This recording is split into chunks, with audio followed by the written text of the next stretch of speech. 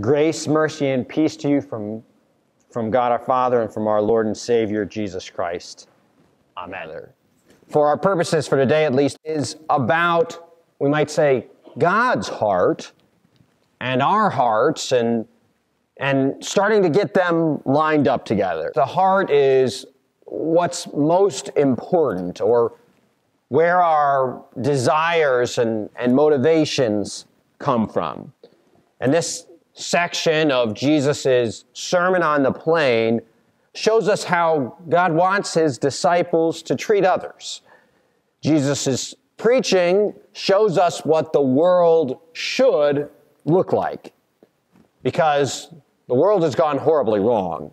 And what's the solution? Well, the way out of this mess that Jesus preaches is the love of God, a, love that gives without respecting in return, a love that ultimately we know culminates in the cross. It's about generosity and, and willingness to suffer for the good of others. And this giving, this selfless love, is exactly how Jesus will live. It's a lot like how God generously gives to the world, even to those who hate him or never give thanks. The psalmist says, The Lord sends the rain on the righteous and the unrighteous alike. And that's why Jesus instructs us to, to love our neighbors and to give without expecting to be repaid. He tells us to treat others not based on what's good for me or how I feel or what the score is between this person and me. Jesus tells us to treat others the way we want others to treat us. See, Jesus doesn't actually give us laws that can be legislated or enforced. You can't make someone love their enemy. However, God's primary concern is not, we would might say, about the law. It's not primarily about people toeing the line. God's primary concern is about healing your and mine and others' hearts. God wants people to connect and work together, not against one another. And that's how He created humanity, to, to take care of creation and one another. And from a sort of, I mean, it doesn't quite say this, but from a philosophical perspective, you might say the world needs to change how it treats one another, and Jesus expects us to make the first step.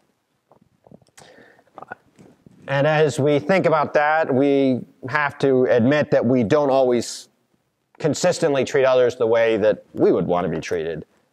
There's times when we just do the bare minimum in, for instance, the relationships we have with those around us. Now, I'm not saying you can never take time for yourself or that you should forget about your health. Those are important things. But I suspect that if you're anything like me, there's plenty of times when it's not that I can't do a better job or help others, it's just I may be too lazy or distracted or busy.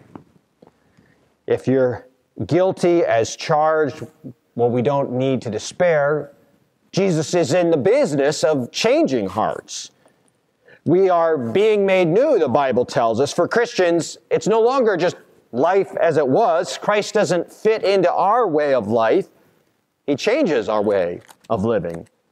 He changes our, our way of, of speaking. He changes where our feet go and, and what our hands do. Listen to our, our Savior's words once again. Jesus says, But I say to you who hear, love your enemies, do good to those who hate you, and bless those who curse you, and pray for those who abuse you. To the one who strikes you on the cheek, offer the other also. And from one who takes away your cloak, do not withhold your tunic either. Give to everyone who begs from you, and from one who takes away your goods, do not demand them back. And as you wish that others would do to you, so do to them. Now, that is a bit daunting, challenging. However, remember, listening to Jesus is different than having a discussion with a friend. We are students or children listening to our Heavenly Father. For confessing Christians, the question when Jesus speaks, we should not be asking, Do I agree with Him? We should ask, Do I understand it right? Or, How, Lord, do I do this? we certainly can ask clarifying questions, but the student doesn't get to tell the teacher what's true in this case. And we remember that Jesus is patient with us, but he's also clear.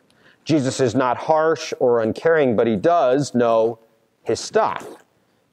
You know, you might be asking, how could you give away your money without expecting anything in return? What would it look like if people or nations started loving their enemies instead of sharing or demanding their rights? What if you gave to people who asked you for things?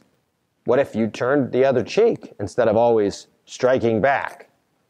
Well, I think one challenge when we think about Jesus' words is that we immediately go to the big picture and we think, I could never do this always.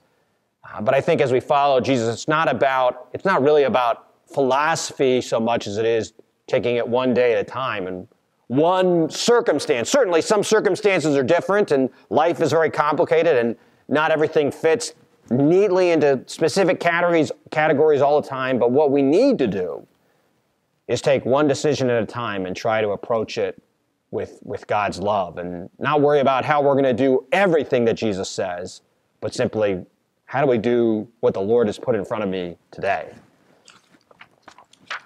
Well, it still sounds sort of dangerous, doesn't it? I mean, it sounds in many cases impractical or foolish. Even thinking about living like that might require faith.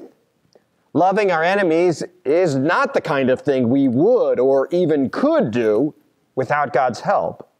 But what I don't want us to do is run away from these words or try to find a way around them. Jesus is asking us to start living in this way. Jesus is daring us to live in a way that is very different. Life with Jesus is a challenge, and sometimes it's frightening. When we put ourselves out there, yes, at times we'll be vulnerable. And I wish that I was a good example of this, but honestly, I certainly have not always lived out Jesus' words faithfully. But remember the God we have and the good news that He's given to us, and that's that we've been forgiven. We don't have to be perfect. We don't have to compromise on God's word, even though we don't follow it perfectly. You know, you are sometimes vengeful and stingy when you could be generous or gracious. Be real. We're all sometimes more filled with bitterness than love. And that's why we need a Savior, both for His forgiveness and for His guidance. Because we know as we read the scriptures and interact with God that we can't hide from God what we've done. You can't win an argument with God and uh, convincing Him that all along He was right or wrong and you were right. So the best thing to do is just be honest and confess your sin instead of pretending you haven't made a mistake. And we're all in the same boat. We are all forgiven. And yes, we fall short and we've not always done as we should have, but Jesus came and He's forgiven and accepted our confession. He did so earlier in our service and will continue to forgive us. So, and so that means we don't have to plot a course that will protect our image. That's what we often do with the challenging parts of God's Word, you know, right? We, we don't want to change the trajectory of our lives, so we instead try to change God's Word. But we don't have to suppress the truth. We can confess the truth, and we have the truth, Jesus, as our Lord. And we can rely on God's grace, both for our past and for our future. He forgives our sins. And don't worry, He also can help you do what you couldn't do on your own. If you think you can't love your enemy, Jesus will show you the way. He'll show you how. If you don't think you can do it, well, you can pray for forgiveness and for help. But we don't have to throw in the towel or give up. Uh, because for most of us, it's probably not as simple as making one single decision. Being generous and loving your enemies is a commitment. It's not a, a one time decision, it's a, a daily battle. But just because the battle is tough doesn't mean we should, it ain't worth fighting.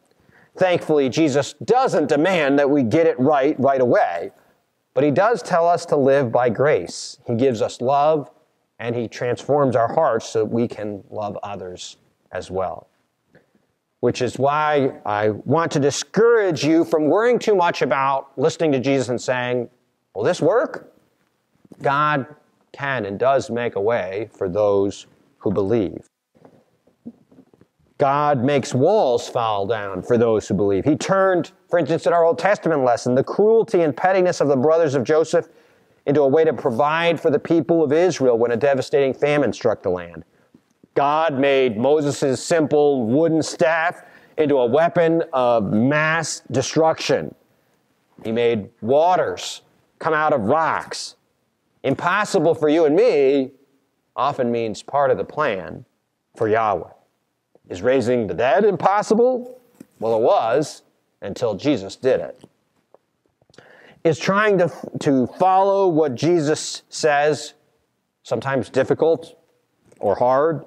Yes, certainly it is. If you said it was impossible for human beings to live like Jesus instructs us to, that this is impossible for us to do, I really wouldn't argue with you. Loving your enemies and thinking of others above yourself, it's a Holy Spirit thing. It's a gift of God. It's God working in you and me. It's not up to you. It's not your work. It's the work of Jesus shining through your life. And you and I are privileged to be caught up in it. We could just live like everyone else in the world, but why settle for that? We know because our Savior has showed us that there is more. Why settle for that? Almost Almost everybody loves their own tribe, the people closest to them, but we've been called to reflect the great love of God that is overflowing, that can't be contained only the people who love Him. We've come to reflect the love of our Savior Jesus Christ to the world around us. And He will help us, and He will forgive us, and He will make something new out of us through the power of His Holy Spirit. In Jesus' name, amen.